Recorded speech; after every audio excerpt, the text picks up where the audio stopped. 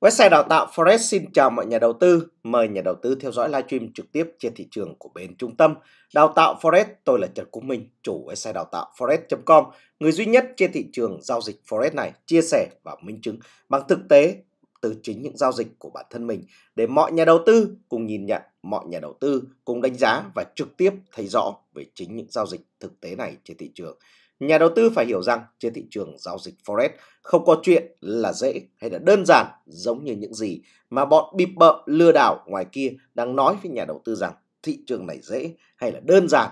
Thị trường này chỉ có dễ là dễ mất tiền và đơn giản chính bản thân. Nhà đầu tư sẽ phải là người tan ra bại sản cho chính những giá trị này trên thị trường. Không có chuyện trên thị trường giao dịch Forex, ra ngoài chia sẻ mà không chứng minh được bản thân chúng giao dịch vận dụng áp dụng vào trong thị trường là như thế nào.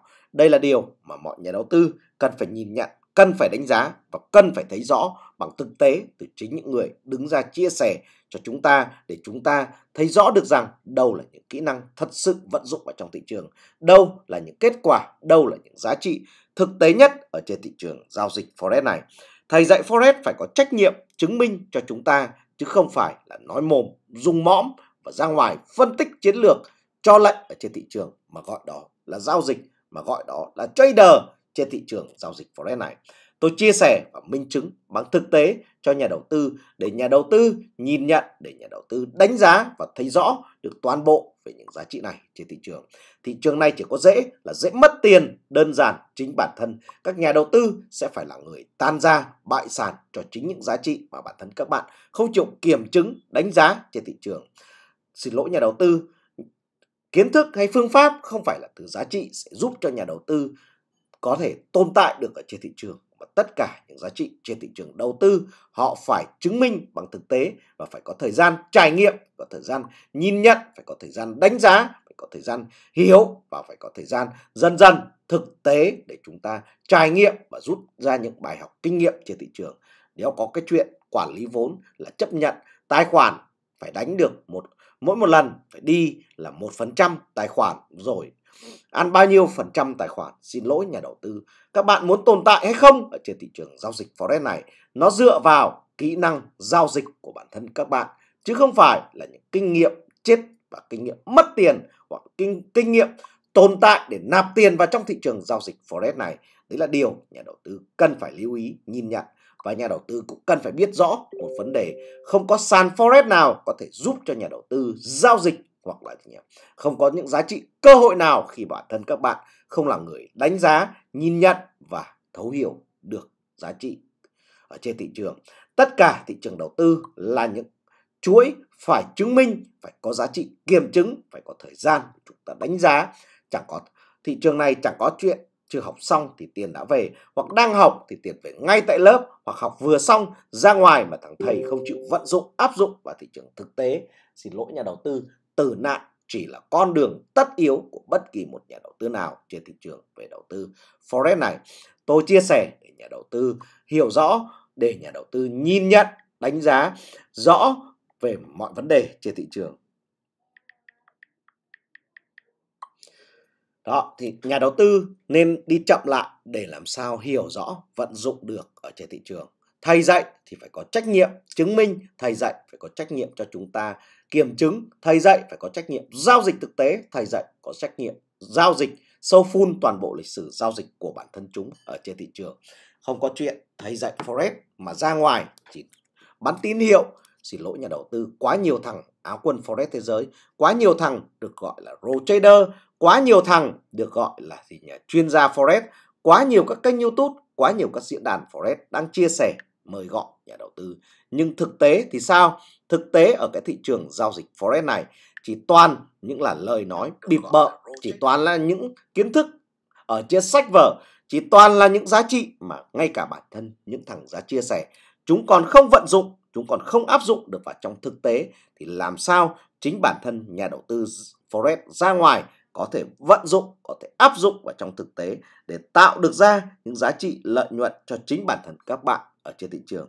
Bản thân những người đứng ra chia sẻ không chứng minh được, chỉ phân tích, chỉ nói mồm, chỉ dùng mõm thì vậy nhà đầu tư đem về cũng chỉ là phân tích, nói mồm, và dùng mõm mà thôi. Thị trường này nếu có chuyện là thì nhà Dăm ba bữa nửa tháng là có thể giao dịch vận dụng được ở trên thị trường. Thị trường này không có một thứ kiến thức hay là một thứ phương pháp nào mà bản thân nhà đầu tư ra ngoài không chịu luyện tập mà đòi có thể tạo được ra những giá trị lợi nhuận thật sự cho chính bản thân các bạn. Đừng có ảo tưởng về những điều mà bản thân chính các bạn là những người còn không thể kiểm chứng được về điều đó trên thị trường. Trong đầu tư chúng ta không có chuyện là lòng tin, trong đầu tư chỉ có những sự được gọi là chứng minh trên thị trường. Nhà đầu tư cũng ra ngoài cũng đủ biết thế nào là những kẻ đạo đức giả trên thị trường. Điển hình giống như vụ gần đây nhất là gì nhỉ? Võ Nam Yên đó kêu là chữa được bệnh thế này hay thế khác nhưng bảo là nhỉ những cái người đến chữa bệnh, chứng minh về những điều đó cũng giống như thị trường giao dịch forex này. Kêu là gì nhỉ? Giao dịch thành công thế này hay thế khác ở trên thị trường. Kêu chứng minh về những điều mà bản thân chúng chia sẻ ra ngoài thị trường. Thì tuyệt nhiên, chúng ta không bao giờ thấy bất kỳ một tháng nào chứng minh ở trên thị trường này.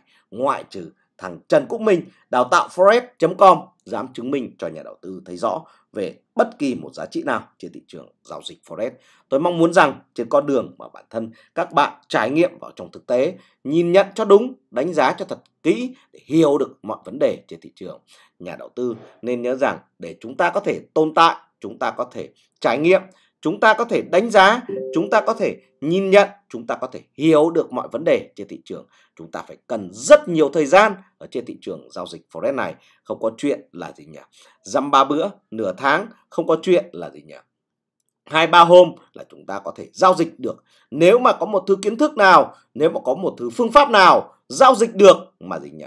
Dăm bữa, nửa tháng ở trên thị trường, thằng nào mà chứng minh được điều này, tôi sẵn sàng đóng 500 triệu đến 1 tỷ để tham gia vào bất kỳ một khóa học nào chay như vậy. Với điều kiện chúng phải đem tài sản của bản thân chúng ra để mà gì nhỉ? ký kết, để mà chứng minh cho điều đó. Nếu như không giao dịch, không vận dụng được thì tôi không cần thiết phải là nhỉ, một đến một mà nó trả lại cho tôi số tiền đấy. Và đến 50% số tiền của 500 triệu hoặc 1 tỷ nó yêu cầu. Đấy là điều mà nhà đầu tư cần phải lưu ý.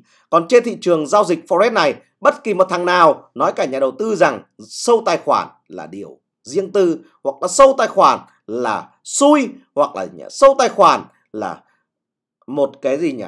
Phải có giá trị đưa ra bao nhiêu tiền để mà chứng minh về điều đó uh, mới cho xem. Thì xin lỗi nhà đầu tư nhà đầu tư cứ nhấc máy điện thoại lên và gọi trực tiếp cho tôi. Tôi sẵn sàng cầm tiền lên và ký hợp đồng và trực tiếp xem ngay.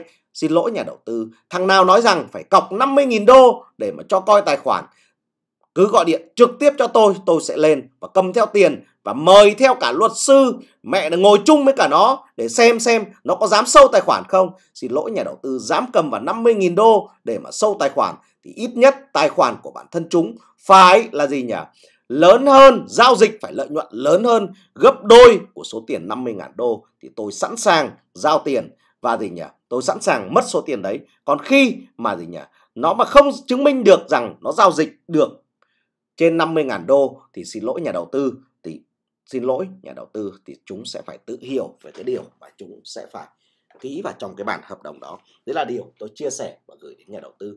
Tôi là Trần Quốc Minh, chủ website đào tạo forex.com, người duy nhất trên thị trường giao dịch forex này chia sẻ và minh chứng bằng thực tiễn trên thị trường để gửi đến nhà đầu tư. Tôi mong muốn rằng mọi giá trị ở trên thị trường sẽ hỗ trợ được cho nhà đầu tư trên con đường mà các bạn trải nghiệm thực tế, trên con đường mà bản thân các bạn thực tiễn tham gia vào trong thị trường. Tôi mong muốn rằng những gì chúng tôi đang chia sẻ sẽ giúp được cho nhà đầu tư nhìn nhận cho đúng về mọi vấn đề trên thị trường cũng như trong thời gian dài của cả một quá trình dài phát triển của bên trung tâm đào tạo Forex, chúng tôi đã nỗ lực để gửi đến nhà đầu tư, cho nhà đầu tư thấy rõ được góc khuất ở trên thị trường và những kiến thức cũng giống như những phương pháp được vận dụng vào trong thực tế để nhà đầu tư hiểu được rằng thế nào là những giao dịch thực tế trên thị trường và thế nào là những kẻ nói mồm dùng mõm trên thị trường về đầu tư forex này.